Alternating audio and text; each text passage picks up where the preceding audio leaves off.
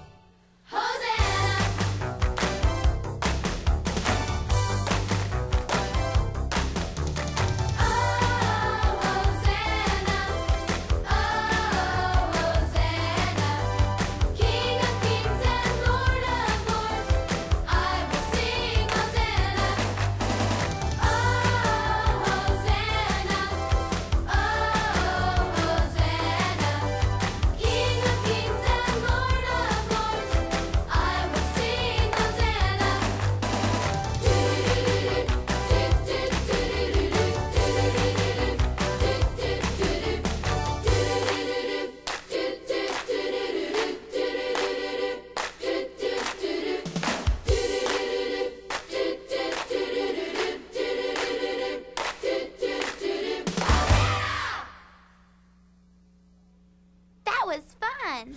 Oh dear.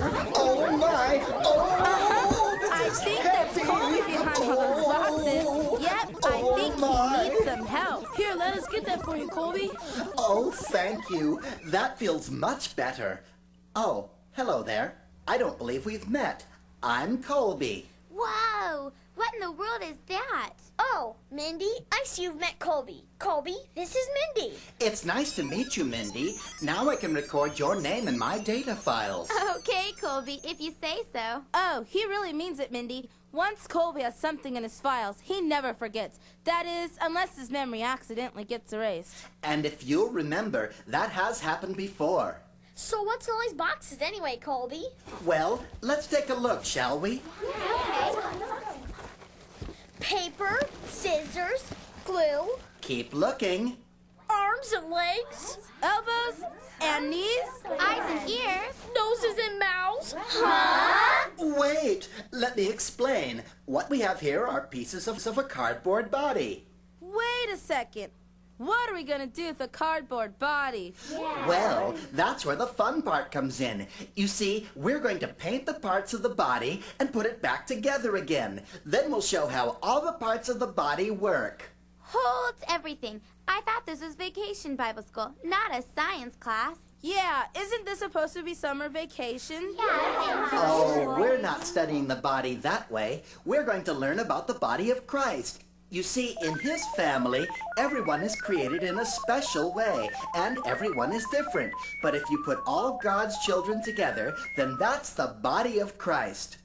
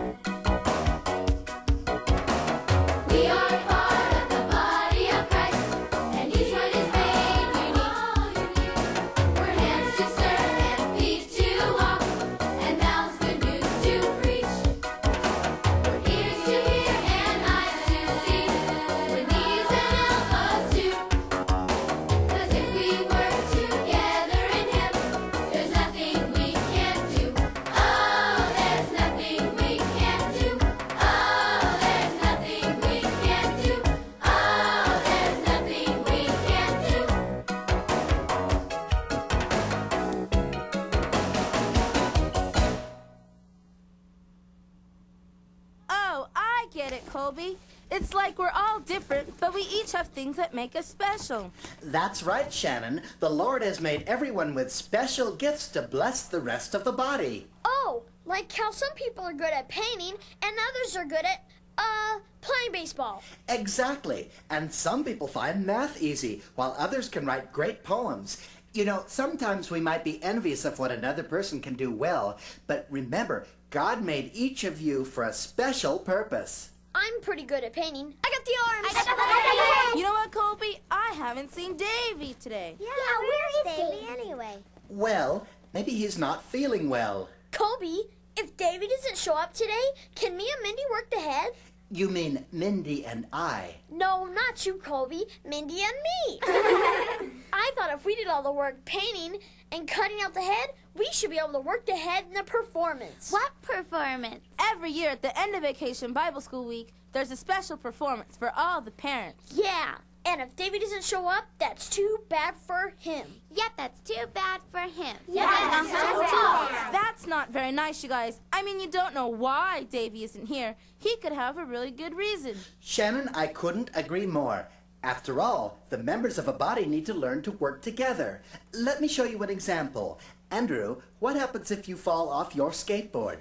I'd probably skin my knee pretty bad. Exactly. And what does the rest of your body do? Tell your knee, oh well, I don't need you anyway. No way. That's right, because the rest of your body starts to work together. Your brain tells your eyes to look, and your eyes say, uh oh, blood. And then your brain tells your legs to start walking home to wash out the dirt and put on a bandage. Do you see how the rest of your body works together to take care of the injured part? Yeah, I guess that's right. Well, that's how the body of Christ is supposed to work too. I've got it right here on my monitor. 1 Corinthians chapter 12 verse 21 says, "The eye can't say to the hand, I don't need you, nor can the head say to the feet, I don't need you." In God's family, we need every member.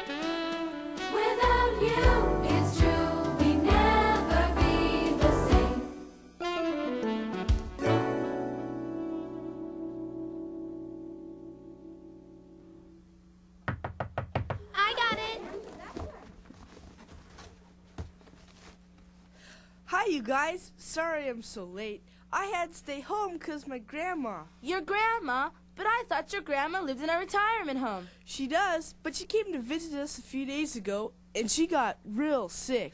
Oh my, is she all right, Davey? Well, she had to go to the hospital this morning 'cause she wasn't getting any better. The doctor said it was just a bad case of the flu, but she looks sicker than that to me. Oh dear. Come on, everyone. Let's pray for Davey's grandma. That's a good idea. Dear Jesus, we come before you right now, and we ask that you please take care of Davey's grandma in the hospital and make her well again. In Jesus' name we pray. Amen. Don't worry, Davey. Jesus will take care of your grandma. That's right. It says right here in Proverbs 3 5 Trust in the Lord with all your heart and lean not on your own understanding. In all your ways, acknowledge him, and he shall direct your paths.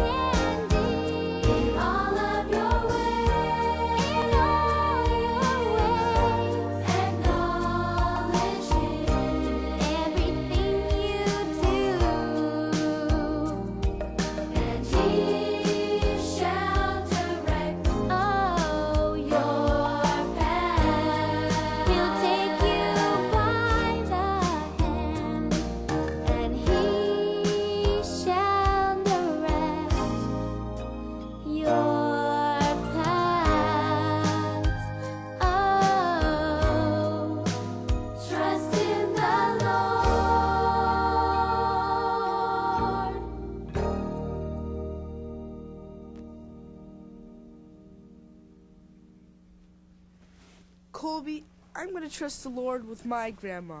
He'll take good care of her. That's right, Davey. He will. Colby, I don't understand why people have to get sick and stuff. I don't think anyone except the Lord understands that, Andrew, but we do know that He has a reason for everything, and we know that all things work together for good to, those who love God and are called according to His purpose. Romans 8:28. You remembered last week's Bible verse. It's easy when you put it in a song, Colby. What song? Can we teach the song to Mindi, Colby? All right, here we go.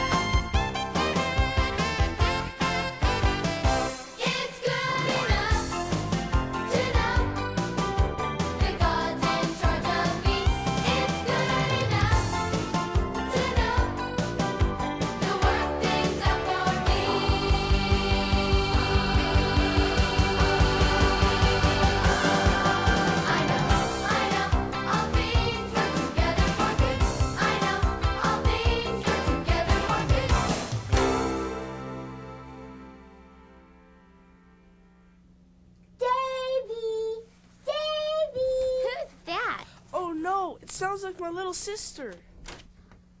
Oh, there you are, Davey. I've been looking all over for you. Laurie, what are you doing here? Mom said you had to take care of me this afternoon so she could go to the hospital to see Grandma. But Laurie, I watched you all morning. I need a break. Can't you just watch yourself? Davey Merritt, I walked all the way here alone in this sticky weather, and now you're telling me to go back home? I can't take care of myself yet. Could have fooled me. Well, hello there, Laurie. Colby! Davey, you didn't tell me Colby was here. Great. Now the whole world will know. Come on in and join us, Laurie. Here, since you're small, you can be the feet of our cardboard body. Could I really be the feet, Colby? Why, of course you can. Colby, you're not really going to let her be in this with us, are you? Laurie is a part of the body of Christ too, Davey, and she's a very important part of God's family, just like you are. Yeah, but Colby, I'm tired of being with her. I had to babysit her all morning. Well, I understand it can be difficult sometimes, Davey, but remember, it's hard on your sister too. Sometimes we don't feel like showing love and kindness to anyone, but do you think God wants us to love each other only when we feel like it? Well, no. In the book of James, it says that real love for the Lord is shown when we do what he asks, even though we don't feel like it. That's like putting feet on your faith. Here, let me show you. You've got to do what God says and live out his word. So put into practice all the things you have heard.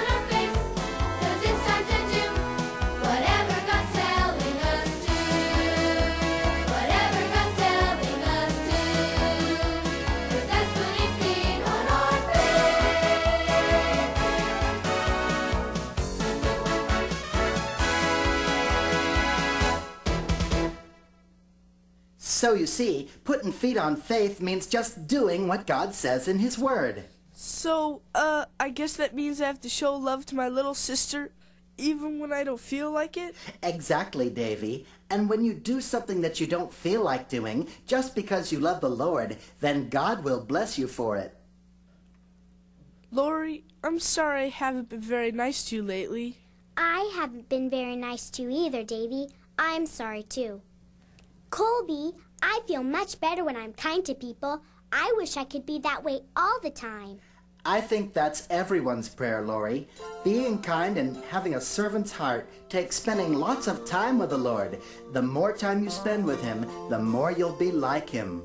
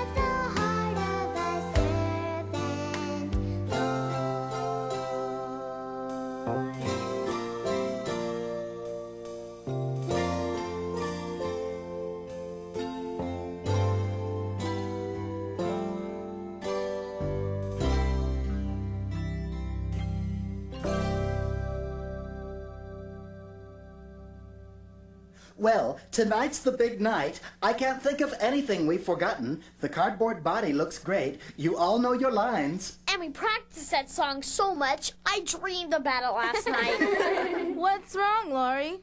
I just wish my grandma could come. How is your grandma doing? Well, she got out of the hospital a few days ago, but the doctor says that she can't come outside for three whole weeks, and now she won't ever get to see the performance. Oh, I'm sorry, Laurie. Wait. Oh, yes. Oh, my. Oh, this is wonderful. Oh, I am having the most fabulous circuit storm. Huh? What's a circuit storm? I think it means a brainstorm. Oh. So what are you thinking of, Colby? Oh, I am so excited. What do you kids think about this? If Grandma can't come to the performance, then let's take the performance to Grandma. Yeah! That's a great idea, Colby, and we can do it for all the people in Grandma's retirement home. Grandmas and grandpas are an important part of the body of Christ, too. And just because they are older doesn't make them any less important. After all, when you've walked with the Lord as long as they have, there's a lot to be learned from them. I learn a lot of stuff from my grandma. That's right, Laurie. It's wonderful to learn about the Lord, but it's even more exciting to do the things He wants us to do. Can we go right now, Colby? yeah, please. Well, I don't see why not. All right, everybody, fall in. Company, attend, huh? Praise the Lord. Everybody got their part of the cardboard body? Yes, sir. Are you ready to put feet on your faith? Yes, sir. All right then. Company, forward, ho!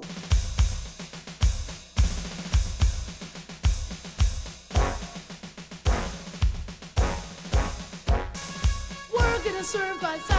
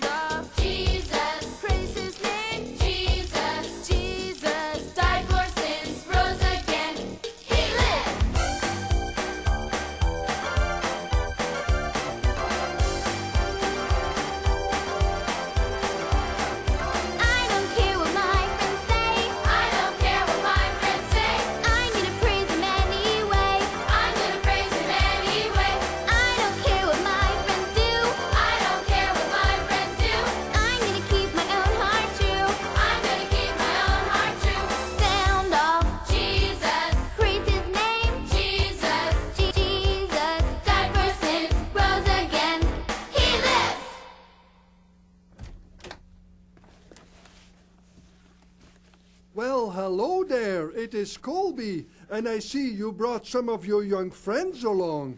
Hello, Grandpa James. It's good to see you again. These are my friends Shannon, Mindi, Andrew, and the whole Friendship Club. Hi. Of course, you already know Davey and Laurie. Grandma! Oh my goodness, it's Davey and Laurie with all their friends. We brought Colby too, Grandma. We decided that since you couldn't come to the performance, we'd bring the performance to you. Wonderful. Great. This week in our vacation Bible school, we've been learning about how the body of Christ works. In the book of 1 Corinthians, chapter 12, it says that even as our own bodies have lots of different parts, the body of Christ has lots of different members. And each member was created for a special purpose. The eye can't say the hand, I don't need you. And the head can't say the foot, I don't need you. Because we're all important in the body of Christ. And the ones that seem weakest and least important are really the most necessary. If one member suffers, then all the members suffer. If one part is honored, all the parts are glad. We've learned some special hymns to honor you, our grandmas and grandpas, and make you glad.